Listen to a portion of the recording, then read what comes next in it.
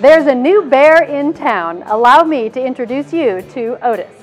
Otis the Bear was unveiled to students by President Tom Courtway, Director of Special Projects TJ Johnston, and sculptor and UCA art professor Brian Massey. What we did is we unveiled uh, a scale drawing of what the uh, exterior of Donaghey Hall is going to look like and uh, it's a remarkable piece of uh, public art. Otis will be made out of stainless steel and will be anchored on the side of the new Donaghey Hall, which opens in August. I was asked to come up with a concept and idea to create a, a sculpture piece to go on the building, and uh, they wanted a specific type of bear made for the building.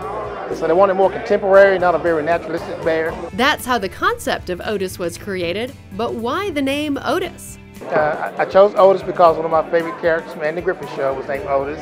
Uh, the bear is going to be 15 feet tall, approximately 8 to 10 feet across wide, and weigh about 2,500 to 3,000 pounds. It is a magnificent piece of public art.